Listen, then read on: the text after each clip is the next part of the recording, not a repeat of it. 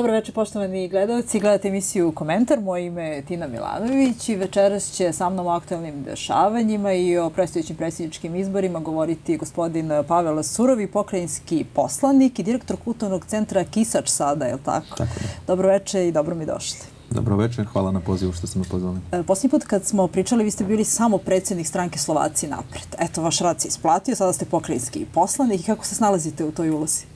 Jako vredno, aktivan sam na sadnicama, znači učestvujem u raspravi i pored toga još e, pravim komunikaciju između Slovačke republike i Vojvodine. Znači svako ko se obrati na mene, dovneo sam i e, neke firme iz Češke i Slovačke da, da posete ove opštine i znači takav medijator spajam sve ljude i to je moja uloga za koju su me građani izabrali. Sada je u parlamentu sasvim drugačije, sada nema problema, svako može lepo da postavi pitanje, ima vremena, nije kao što je bilo nekad dok je bio ovaj, gospodin Pajtić premijer. E, da, u, to bi rekao da u parlamentu se vodi jedna razumna diskusija, znači nema više tih trzavica između Vojvodine i Republike, znači sada se vodi jedna, kako bi rekao, politika oko projekata, znači udružujemo se oko projekata kako je i premijer e, pokrajinske vlade Igor Mirović rekao, znači e, idemo u reforme, idemo u razvoj Vojvodine i to je to, je to ključno. I ono što je bitno, kako žive Slovaci danas? Eto, kažem, opet kada smo se posljednji put videli, govorili ste da je potrebno promijeniti svest kod Slovaka. Sada ste u prilici da to uradite i imali promjena već? E, tu bih rekao da promeniti sve ljudi, to je najteža stvar. Također navike i razmišljanje i mislim da su Slovaci izabrali ispravan put. Izabrali su put reformi koju predvodi Aleksandar Vučić, znači politiku Aleksandra Vučića i Srpske napredne stranke. I to se ogleda u tome da u selima i mestima gdje su do sada pobeđivali demokratska stranka, Slovaci E, Slovaci, Srpska napredna stranka i naša, i naša stranka gdje smo bili u koaliciju su po prvi put dobili rezultate kao i Aradač, e, Luk, Erdevik, e, Janoši, Kisač i ostala mesta, Bački Petrova, znači to su bile uporište demokratske stranke, ali sada se promenila ta svest. To je bio mukotrpan rad, moram da kažem. Taj rad Kako ste uspjeli? A, to je bilo, mi smo se kao neka nova energija, E, naša stranka. Samo da građani znaju, znači ja sam predsjednik stranke Slovaci napred e, i ta energija je nastala najpre kao udruženje, udruženje građana. Mi smo se pre dve godine pojavili i počeli smo da i na našu zajednicu prenosimo te teme koje je Aleksandar Vučić počeo da govori njima, to je e, borba protiv korupcije. Da, vaš program i program Srpske stranke je... Su slični, da, europski put, borba protiv korupcije, da, borba protiv korupcije, europski put, integracije europske i stvarno E, smo pokrenuli jednu priču protiv nepotizma, e, protiv zlopotrebe položaja, e, protiv kupovine uticajem i sve smo to te teme i kako bi rekao Slovaci su to shvatili, videli i stvarno premijer je vredan, jedan državnik koji radi svakodnevno i to su prepoznali. Znači tu je ta energija, a mi, mi kao stranka smo samo prineli toj pobedi koja je bila. Znači i tu vidim da stvarno Slovaci sada gledaju mm, drugačije na stvari i kad pogledate, skoro po svim slovačkim selima je bio rezultat oko 50%, znači ta stvarno svest divizija je promljenjena. Demokratska stranka i uopšte opozicija je govorila kako Srpska napredna stranka ne brine e, o manjinama, a evo pokazalo se upravo suprotno, ne samo da brinu, nego ste prosto koalicijoni partneri. E, može jedan komentar na to, pošto da, se da, naravno. Srpska napredna stranka e, je naš jedan korektan partner, pouzdan partner.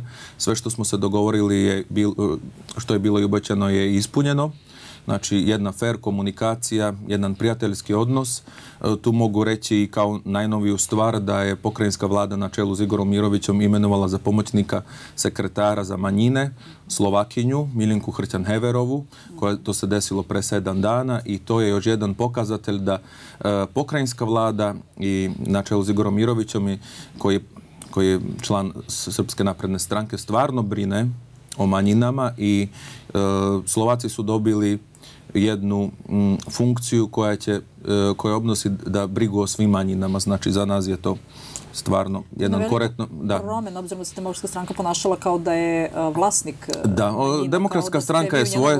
Da, demokratska stranka je svojetala slovačku zajednicu, e, obećavala lažne nade, davala Slovacima i stvarno svi ti problemi po lokalnim samoupravama, građani više nisu mogli to da trpe, nisu mogli da slušaju obećanja i tu stvarno Srpska napredna stranka je dodržala sve, sve što govori to i radi. I to je jedan preokret i ta energija koju govorim Aleksandra Vučića se stvarno uh, spustila i na nas, na našu zajednicu i počinju promene u našoj zajednici. Evo, rekli ste sve što je obećano ispunjeno je. Da navedemo šta je sve urađeno e, Evo, ovako bih rekao, znači, e, mi kao, mi kao stranka Slovaci napred smo dobili pokrajinskog poslanika. U, u devet opština smo išli u koaliciji, znači, svugde smo pobedili, imamo odbornike, imamo potpredsednicu e, Skupštine u Bačskom Petrovcu, u Većima ljude, imamo u Baču, Bačkom Petrovcu, e, imamo odbornika u Kovačici, Padnjini, takođe i ovde u Staroj Pazovi. Naši kandidati su bili Janko Havran i Libuška Simendićova Lešćanova, koja je sada odbornik u Staroj Pazovi i stvarno možemo da budemo zadovoljni. Znači, koalicija funkcioniše gde smo koaliciji funkcioniše dobro, mi se ponašamo odgovorno, glasamo za sve, e, sve zakone, sve mm, odluke koje idu na skupštinu i to i doprinos E, takođe smo mm, aktivni u raspravama i stvarno poukazujemo na, to, na te stvari koje su se loše do sada radili. Bili ste prilično aktivni kad je reč o budžetu uh, u autonomnoj pokrenje Vojvodina, o tome da. što više samo da Da, u raspravu, da. Što se tiče budžeta... Sada je, nadam se, taj budžet tako raspodeljen da nema više problema. Vi ste ranije morali samo od e, Republike Srbije da očekujete novac, da. a sada je tu i pokrajina i lokalne samuprave, a i Republika Srbija. Da, što se tiče budžeta, tu bih rekao da e, pokrajinska vlada je napravila jedan razvojni budžet, budžet koji e, Vojvodinu i čini njenim građanima dobro. E, tu bih rekao, kako sam je rekao, znači e, prethodna vladajuća garnitura u pokrajini se ponašalo e, parolom posle nas potop. I to se videlo i kako su oni planirali taj budžet za 2016. godinu, da sve do aprila se potroši, da služi taj budžet za propagaciju u izbornoj godini, znači i ostavili su, tako su naplanirani budžet da za treće dete nisu ni planirali na celu godinu. Znači sve su, sve u te četiri... A pritom su dobijali i od da. grada Novog Sada novac, isto je to da kažemo, posebno nacionalni savjet da, dobija od grada Novog Sada. Jedan milion, uh, gradonačelni Milo Žučević da, da. je dao nacionalnom savjetu jedan milion uh mhm. -huh. dinara i to stalno ugovorom je tako dato. A tu bi rekao da pokrajinska vlada na e, čelu s Igorom Mirovićem lažno ne obećava. E, sve što kaže, e, te, to i odradi. I znači i tu, tu se stvarno vidi ta vizija i ti projekti koji stvarno čekaju Vojvodinu da bi građani Vojvodine živeli bolje. Koji su to projekti? Da, Igor Mirović u svom ekspozeu, pa onda i kod prezentacije budžeta je rekao da pokrajinska vlada se fokusira na uh, okupljanje oko zajedničkih projekata. To, je uh, da se Vojvodina, Republika, gradovi i lokalne samuprave okupljaju oko zajedničkih projekata da bi se lakše ti projekti uradili. Drugo je razvoj privrede, sređivanje industrijskih zona, poljoprivreda, a kao najviši cilj i što je jedno važno su nacionalne manjine i njihov status i mm, usavršavanje prava nacionalnih manjina. Znači, to su bili takve četiri oblasti u koje, je Igor Mirović planirao u budžetu. To što se tiče ove godine, to su projekti početak gradnje Banatske magistrale, pruga Stara Pazova Novi Sad ili kako je premijer nazvao da je to e, pruga kroz Vojvodinu, znači onda pruga Beograd Stara Pazova, e, autoput Novi Sad Ruma. Šta će to značiti za vas, ukratko da kažemo kad već napominjemo koji su da. projekti, prosto da kažemo da. šta je njihova svrha? Svrha je povezivanje, brže povezivanje svih krajeva, znači Bugarske i Vojvodine, na drugu stranu u Rumu, znači za investicije, za firme koje ovde dolaze da brže te proizvode plasiraju na autoput da bi mogli, mogli se izvoziti u, u, u Europsku uniju i sve ovi infrastrukturni projekti e, kao i stimulacija tih e, industrijskih zona, sređivanje tih industrijskih zona treba da dopomognu da što više e, dođe fabrika u Vojvodinu. Igor Mirović je rekao da će se ova pokrajinska vlada, merite se njihov uspeh otvorenim fabrikama i brojem zaposlenih. Znači, to je, to je ta vizija koju, ako ste gledali, sada su isto otvarane fabrike po Vojvodine, znači sređuju se te zone i to je jedan put kojim treba da idemo. Znači, druga takva strana je briga o zdravstvu. U pokrajinu su otvorene tri nove angiosale, završena je kamenica, konačno puštena u rad. Kako je rekao premijer, to će 2017. godine biti prioritet briga o zdravstvu? Da, briga o zdravstvu, jer Vojvodina ima, e, nije toliko siromašna da ne bi sredila e, sve svoje e, zdravstvene mm, kako bi sam rekao, i zgrade i što imamo i bolnice i sve, znači tu, tu je ta prioritet te brige i znači dovrše, e, sad je pušten u radi Kamenica 2, svi ti aparati, bit će proširenje, e, treba da se gradi klinički centar, znači u Novom Sadu i to je ta briga stvarno o pacijentima da stvarno dobiju tu e, brigu koje zaslužuju. Tu, je onda i za socijalno ugrožene pomoć, također tu je pomoć majkama koje imaju treće dete, 12.000 mesečno svaki mjesec, također regresiranja za, za, za đake koji putuju, znači sve u svemu stvarno, a to najviše što bi još rekao, taj budžet ove prve godine za poljoprivredu je izdvojeno 8 milijardi. Šta će se tu raditi? E, u poljoprivredi je povećan budžet za mm, subvencije i pomoć poljoprivrednicima, malim i srednjim. Znači oko 800 miliona će biti dato u, na konkursima će se podeliti za, za mašine, za pomoć plasiranju proizvoda i znači tu je stvarno se vidi da briga пошто е Војводина аграрна, kako bi sam rekao, regija, znači tu, tu se stvarno vidi da ta pomoć ide i to je, to je veliki korak unapred od toga što je obećavano i kako se ponaša uh, odgovorno ova domaćinski odgovorna ova pokrajinska vlada. I ono što je jako bitno, Slovaci se više ne osjećaju ugroženo, evo sad ste rekli, bit će i zapošljavanja, uh, naravno te investicije će doći toga, pre svega putevi koji su uslov da bi investitori došli. I ono što mene zanima, da li mladi sada, pošto posljednji put smo govorili, rekli ste mladi odlaze ovaj, iz Vojvodine, da li sada prosto tu, da li se i vraćaju, da li e, Ovako, znači, znači, ova pokrajinska vlada je preuzela veliku odgovornost. Tu moram da kažem da dug koji je zatečen je 9,3 milijarde, e, znači što je veliki dug koji je ostavljen prethodna garnitura. I stvarno e, ova vlada se počela ponašati odgovorno da je e, e, zaduženje i koji su bili kamatne stope od 7% smanjila na 2,9. Sada je isto, e, kako bi rekao, dobila i grace period, također je uzela da se isto refinancira dug od komercijalne banke po 1,6,8 mislim da je taj to je jedno odgovorno da se ta konsoliduju financije, e, da se sredi, sredi budžet i da ne bi se opteretio, mm, kako bi sam rekao, budžet za razvojne projekte, na, na kapitalne, te velike projekte koje moraju da se reše infrastrukturne, ali također i, i na lokalnom nivou sređivanje i puteva i kanalizacija i sve što, sve što je potrebno Vojvodini. Što se tiče, kažem vam, polako se stvari sređuju. Što se tiče mladih, tu ćemo vidjeti e, kako će se zadržavati. Imate li neku strategiju kako e, i, da, ja, i mi kao stranka, ali pokrajina daje i doprinose mladima, da naučno istraživanje i, i podršku podršku talentima, ali mi vidimo u zajednici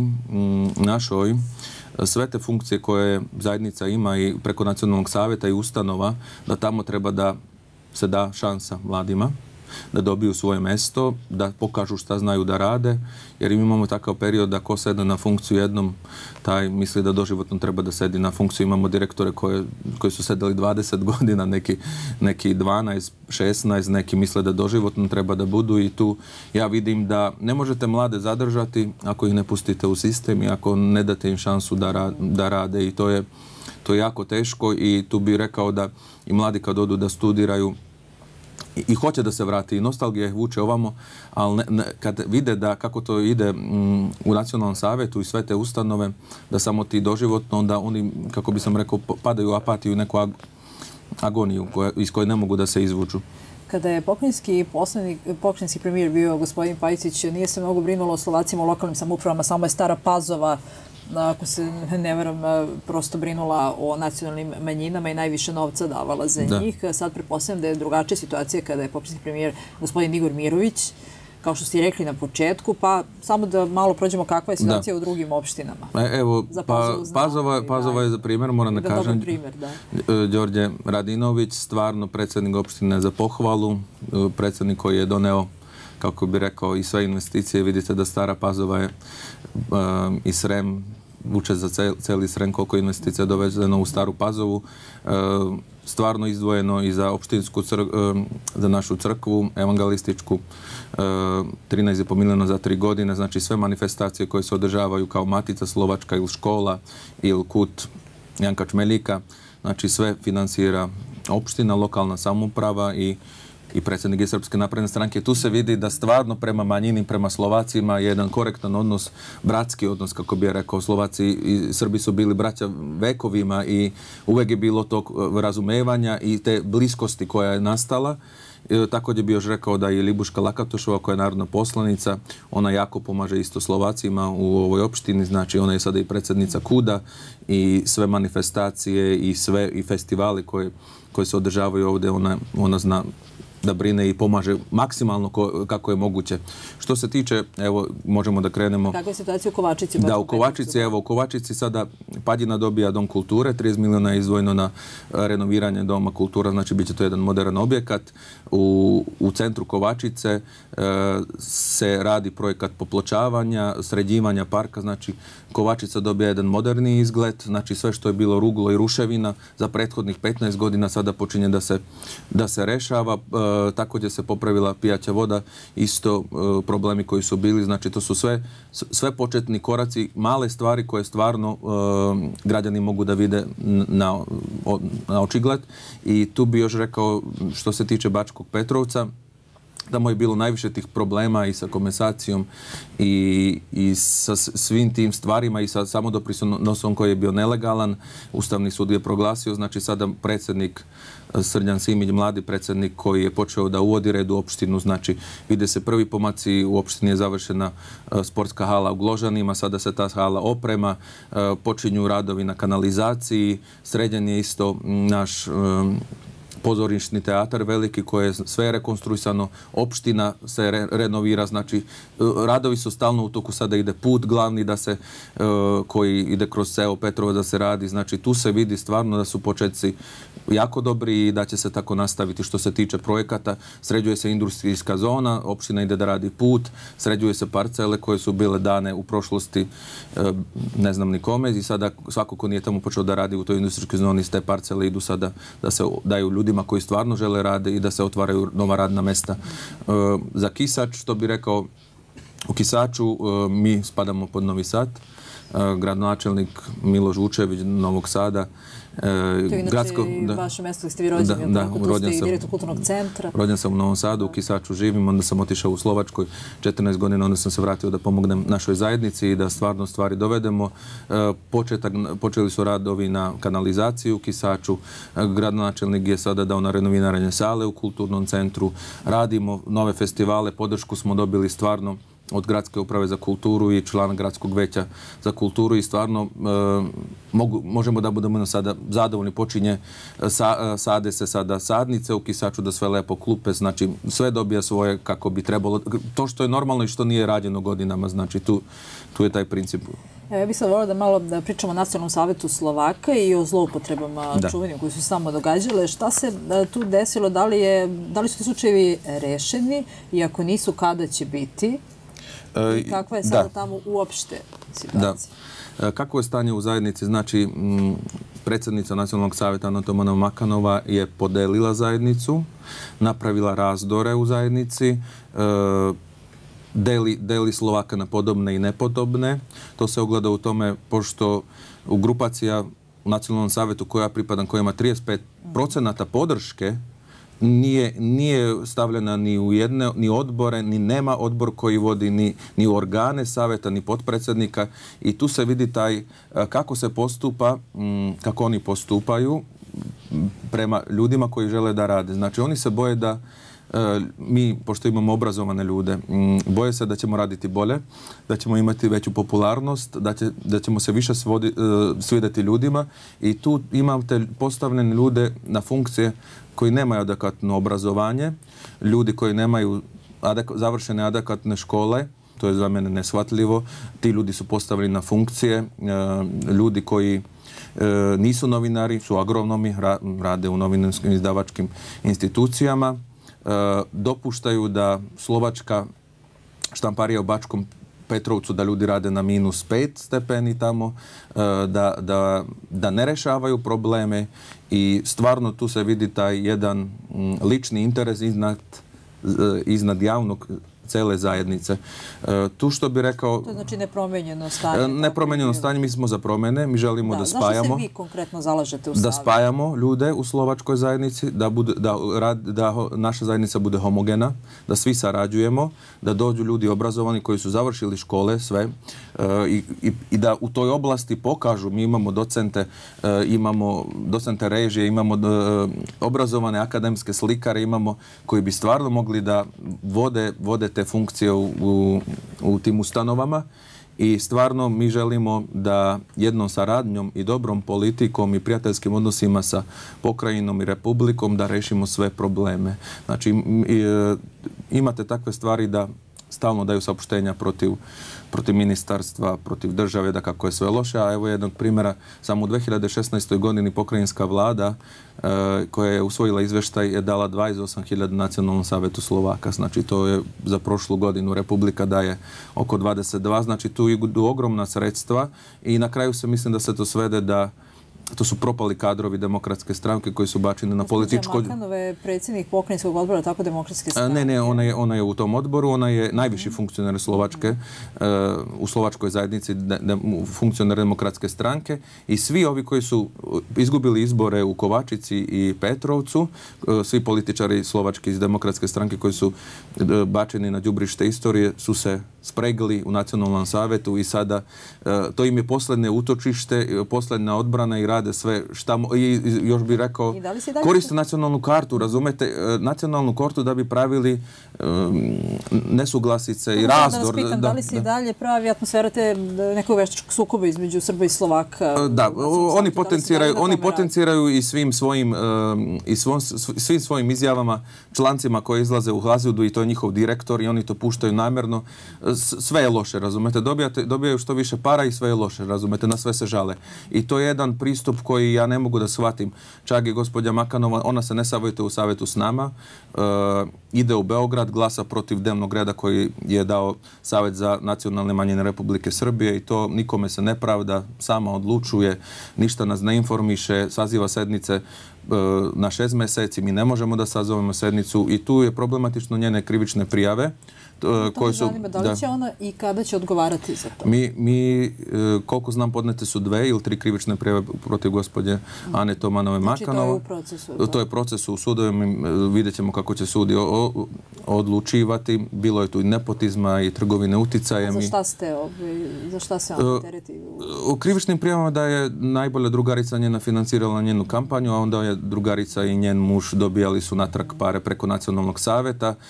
mislim da je bila i jedna još zbog e, zloupotrebe funkcije, e, prekoračenja funkcije i to, je, to se sada rešava. Znači, mi, mi se zalažemo i promjene u Nacionalnom savetu, tražimo podršku, jer sada je e, politički poligom Nacionalni savet za demokratsku stranku i Ligu socijaldemokrata. Oni zajedno drže taj Nacionalni savet i ne puštaju nikakvu svežu energiju, nikakve dobre, kako bi sam rekao, ideje i tu se ogleda da sve što radimo mi ne dobijemo sredstva. Nisu podržali ni moj festival, nisu podržali ni aktivnosti koje radimo i, i tu se ogleda ta, kako bi sam rekao, mržnja koja ide, ide prema svemu što ima prefiks napredno. Da li je bar bilo reći u medijima? Napred, ili napredno ili napred. Molim? O vašim manifestacijama, da li je bilo e, reći u medijima i da li dalje postoji ta cenzura medija koja je bila Ne, ne, ne, mediji, mediji... Izvašte i sa sednica nisu e, pušteni? Da, imali smo napade u Glazoljudu, znači oni mjesec dana su napadali festival koji, koji je bio ekscelentan, e, koji su svi pohvalili, koji su vidjeli kako, znači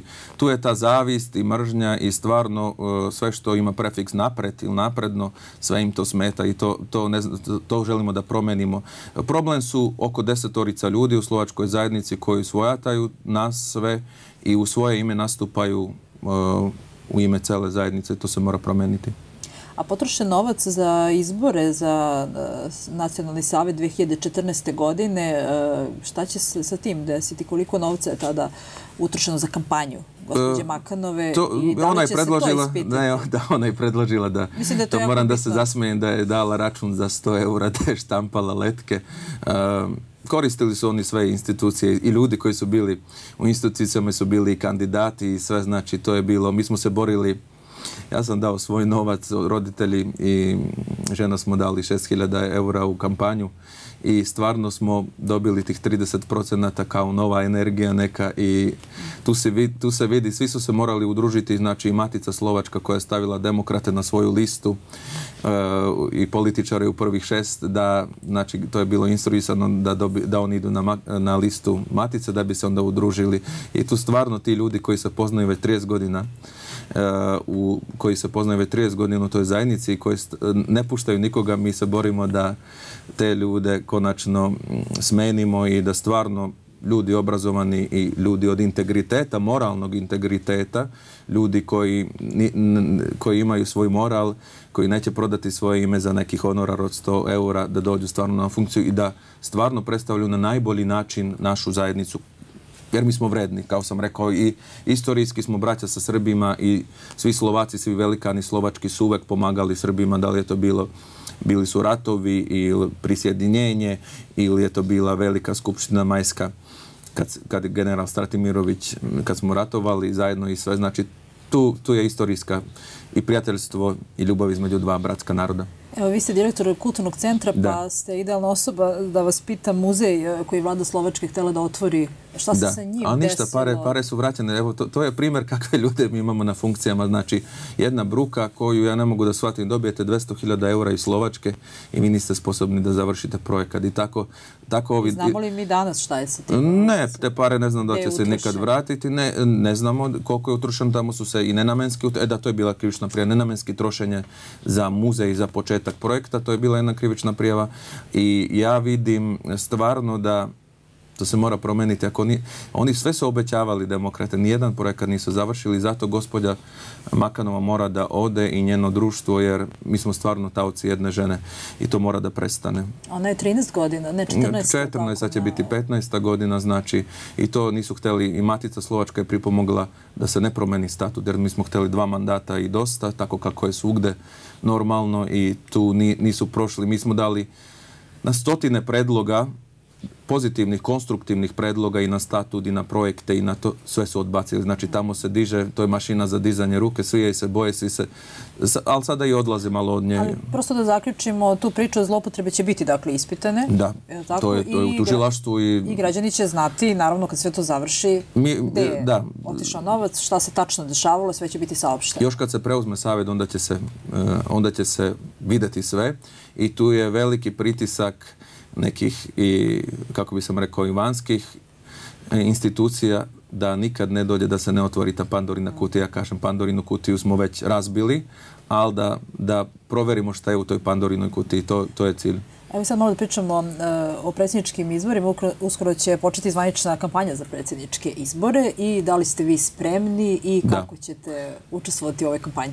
Mislim da premijer Aleksandar Vučić je najbolji kandidat koji je mogao da bude na ovim izborima. To hoću da Što je kažem. predsjedništvo jednoglasnom odlukom prosto Mi smo dali da punu podršku Aleksandru, Aleksandru. Vučiću da kad je postao premijer, od smo mu gratulirali da stvarno jedan državnik koji vodi i stvara modernu državu Srbiju, što mnogi ne shvaćaju šta on radi, stvara, dovodi red, stvara jaku pravnu državu, e, stvara institucije i stvarno ta energija i vidite kako je prijateljski primljeni u Nemačkoj, u Austriji, znači svugde na svim kongresima i stvarno je to njegov rad i ta energija koju on svakodnevno e, zaslužio s- e, čast u- kod svih tih zemalja. Znači to vidite inostrana politika koja se vodi, znači tu vidim i sada mm, dajemo isto punu podršku kandidatur, e, kandidaturi e, Aleksandra Vučića i, stvarno mi počinjemo već da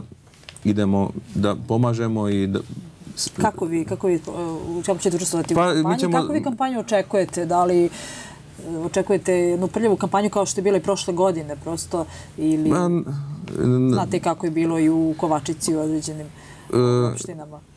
Premijer ni ne mora da ima kampanju. Mislim da ga voli više od polovine naroda. Premijer je rekao da će obavljati svoju funkciju maksimalno dokle može i tu mislim da mogu da pišu šta, to vam je tako kao i kod nas u zajednici.